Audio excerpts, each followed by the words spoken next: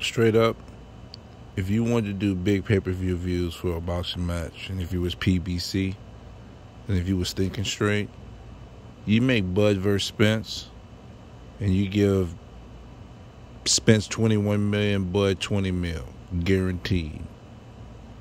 But then you have a co-main event, and you have Thurman versus Boots.